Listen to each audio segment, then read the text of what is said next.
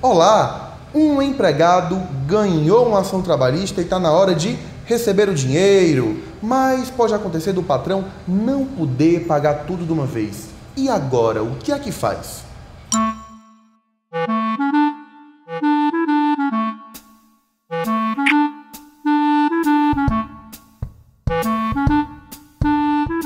Quando o patrão não pode pagar a dívida trabalhista de uma só vez, ele deve buscar o parcelamento. Uma hipótese é fazendo um acordo direto com o empregado. Nessa situação, eles dois vão poder decidir uma nova maneira de pagar, como a quantidade de parcelas e até o valor da dívida. Mas aí é preciso que o empregado concorde com isso.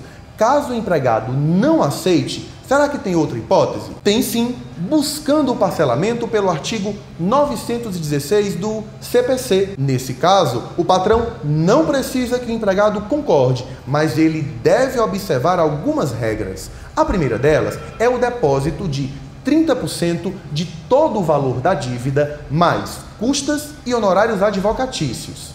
Em seguida, o restante pode ser parcelado em seis vezes com acréscimo de correção monetária e juros de 1% ao mês. Quando essa proposta for feita, o juiz vai encaminhá-la para que o empregado analise e diga se está tudo ok. Estando tudo certinho, vai começar a ser feita a liberação do valor depositado. Agora vem uma parte que é bem importante. Se uma das parcelas não for paga no prazo, vem a rebordosa para o patrão. Todas as parcelas ainda não quitadas vão vencer na data daquela que for atrasada e vai ser cobrada uma multa de 10% em cima de todo o valor ainda não pago.